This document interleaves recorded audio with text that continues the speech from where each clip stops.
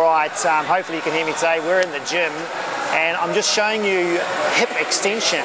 Now, a lot of people use this for back extension, which is bad, and I'm just set it up wrong so people can see what's going on. Here,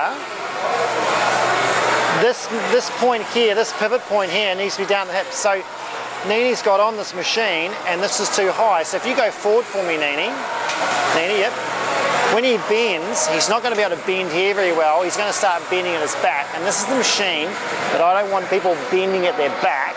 They've got to extend at their hips, okay?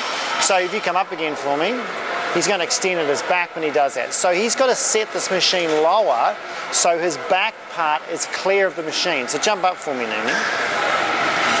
So this needs to go down, probably about there. Yeah, so now, see his lower back is clear of the machine. So he's going to pivot here over this point here. Now, this is how you do it wrong. Do you want to do it wrong for me, Nini? What you do, he's going to go going, keep going. Now come up. See that? There, back extension. I don't want back extension on this machine for a disc discline. This is a hip extension machine. So what we want to do, come up again, is his pivot point is here, not here. So this stays in that neutral position. He pivots forward here, so he slowly lets his glutes and his hammies go. So slowly let this go. He keeps neutral, but keeps letting this go.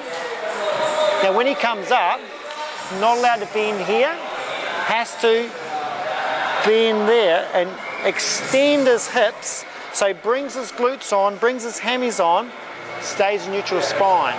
So when he goes forward, he doesn't go forward here, he goes forward here, and then he extends here. So extend here. So he's doing hip extension, not back extension. And he's not allowed to either. Come up. Go and do hyper extension at the top. Okay, so come down again. So you can do it all well and good. Go down, go down, go down come back up. So you could do really well to there, but then you don't want to keep going. So you stop there, you don't keep going into there because that's a hip extension, a back extension. We only want hip extension, so only stay from neutral. So go down here, pivot this point here. Let the buttocks go. Go for me, Nini. Go forward. There. Stands back up through here. So he's teaching his back to maintain neutral and don't overextend, just extend through the buttocks. It's great for glutes, great for hammies, and that is one of the secrets to a strong back is having this section doing all the extension for you. Okay? Thanks, mate.